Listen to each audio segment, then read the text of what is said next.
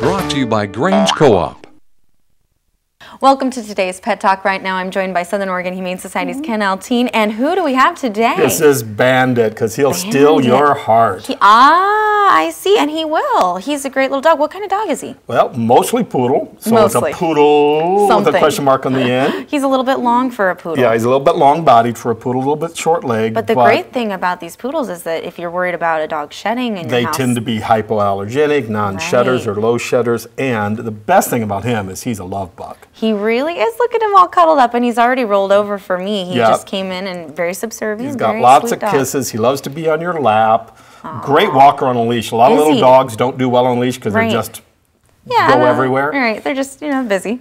He's real responsive. uh, Oh, two years great. old, and uh, you know he came in on the plane last week, Really? and I thought he would be gone in a heartbeat. Right, I right. really did.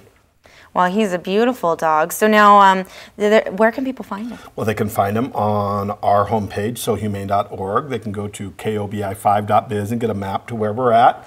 We are on Facebook. Oh, Giving kisses. and uh, and also right now this month, if you go down to the Grange, Right. they are helping us out with a Let Love Let Leslie Out Let Love In event, and you can buy a paw print for one. Five or ten dollars, and oh, it goes great. straight to the Saving Train, Okay. which is the program that brought him out of LA County and saved his life. Oh, fantastic! Yeah, could you imagine So- this kid? I, I can't. languishing in the no, shelter anywhere? I you can't just either. can't. He's a great Yeah. dog. Well, and hopefully he won't be. He's not languishing now, but hopefully he won't be in the shelter too much longer, and someone will come adopt him. Absolutely, soon, It's what we do. All right. Well, go on down and meet Bandit. Right now, we're going to take a quick break.